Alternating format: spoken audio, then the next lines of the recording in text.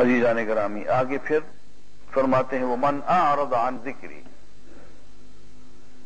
جو میرے پیغام سے، میری نصیحت سے روح گردانی کرے گا، منہ موڑے گا، اسے پسے پشت ڈال دے گا، میرے اس قرآن کی بے قدری کرے گا، اس سے جو منہ موڑے گا، میں اس کے ساتھ کیا سلوک کروں گا؟ فَإِنَّ لَهُ مَعِيشَةً وَنْكَ۔ اس کا جینا، اس دنیا میں جینا۔ تنگی کا جینا ہوگا۔ ہمارے یہاں پنجابی کے ٹکو رکھ گئے تھے آپ پیچھے۔ ہینڈ ٹو ماؤتھ صبح سے شام تک کولو کے بیل بیل کی طرح سے کام کر رہا ہے، لیکن اپنا پیٹ بھرتا ہے، نہ بچوں کا پیٹ بھرتا ہے، نہ رشتہ داروں کی، نہ والدین کی کسی کے حقوق نہیں پورے کر سکتا اس کو کہتے ہیں معیشتن بن کا تنگی کا جینا۔ ہر وقت ٹینشن، ہر وقت پریشانی، کل کیا ہوگا؟ فلاں کام کرنا ہے، بیٹی کی شادی کرنی ہے، فلاں جگہ قرض لیا ہوا ہے، اس کو ادا کرنا ہے۔ وہ فلاں جگہ ہم نے بیانہ دیا ہوا ہے، وہ دو دو لاکھ روپے وہ ضائع ہوتے ہیں۔ پیسے کہاں سے لائیں گے؟ پوری پیمنٹ کے۔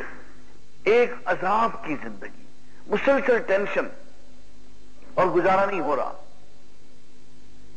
فرماتے ہیں کہ اگر میرے پیغام سے، میری نصیحت سے، میرے دیے ہوئے راستے سے منہ موڑو گے، تو اس دنیا میں تمہارا جینا حرام کر دوں گا۔ اور عزیزان گرامی، میں آپ سے سچ کہتا ہوں کہ ہمارا جینا اس دنیا میں اس لیے حرام ہے کہ ہم قرآن پہ اتنا عمل بھی نہیں کرتے جتنا عیسائی اور یہودی کرتے ہیں۔ معافی چاہتا ہوں آپ لوگوں سے۔ میری بات کو برا نہ منائیے گا۔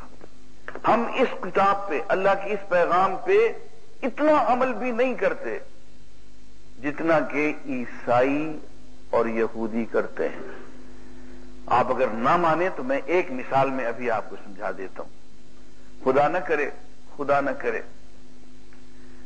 اس سے پہلے ایک بات سمجھ لیں کہ اس کلام کا جو اصل منشا ہے وہ ہم میں صدق اور امانت پیدا کرنا ہے۔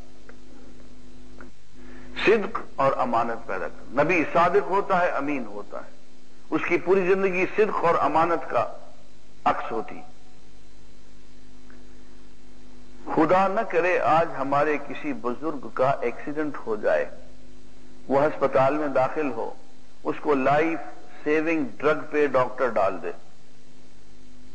کہ صاحب یہ لائف سیونگ ڈرگ ہے۔ ہائی پوٹینسی اینٹی بایوٹک ہے۔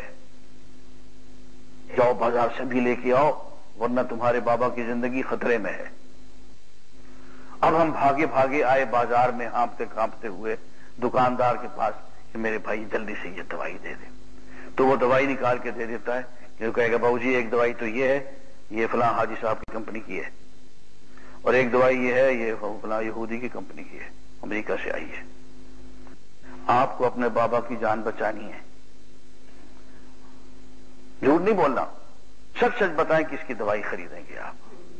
یہودی کی دوائی خریدیں گے۔ اس لیے کہ آپ کو پتا ہے کہ ہمارے حاجی صاحب کے مقابلے میں صدق و امانت میں وہ یہودی زیادہ ہے۔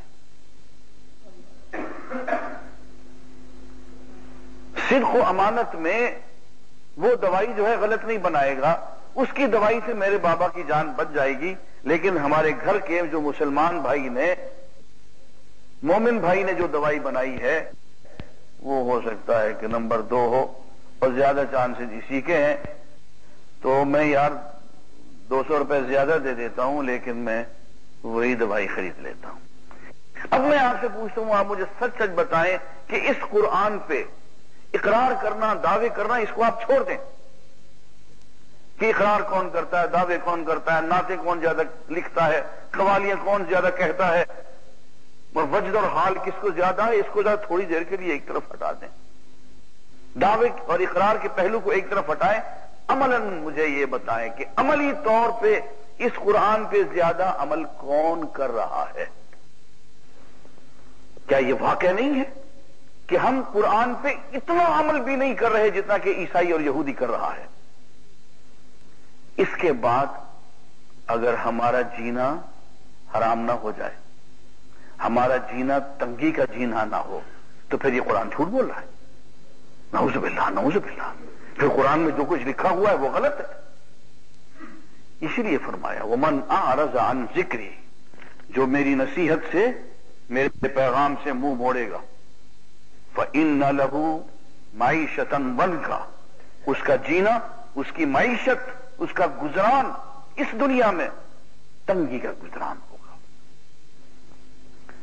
وہ آخرت میں کیا کریں گی وہ نہ شروع یوم القیامت آما قیامت کے دن اس کو ہم اندھا کر کے اٹھائیں گے۔ قال رب لما حشرتنی آما وقد كنت بصیرا وہ یوں کہے گا، میرے پروردگار، تو نے مجھے اندھا کیوں اٹھایا؟ میں تو دنیا میں آنکھوں والا تھا، دیکھتا تھا۔ قال كذلك اتت کا آیاتنا فنسیتها بات یہ ہے کہ تیرے پاس دنیا میں ہماری آیات پہنچ چکی تھی۔ ہمارا کلام، ہمارا قرآن، اس کی آیات تجھ تک پہنچا دی گئی تھی، یہ ہم نے انتظام کر دیا تھا۔ فنسی تھا تو نے اسے تاکہ نسیاں میں سجائے رکھا۔ تو نے اس سے روگردانی کی۔ تو نے کبھی اس کو سمجھ کے پڑھنے کی کوشش نہیں کی۔ کبھی اس پورے قرآن کو سمجھنے کی، جاننے کی، ماننے کی اور اس کی ایک ایک آیت پہ ایمان لانے کی کوشش ہی نہیں کی۔ وہ کزالی کا لیومت انسا جو حشر تو نے میرے کلام کا کیا ہے، وہی حشر آج میں تمہارا کروں گا۔ تو نے میرے کلام کو، میری آیات کو بھلائے رکھا، آج میں تجھے بھلا دوں گا۔ عزیزان گرامی، یہ ہے وہ بدبختی جس سے ہمیں بچنے کی کوشش کرنی چاہیے۔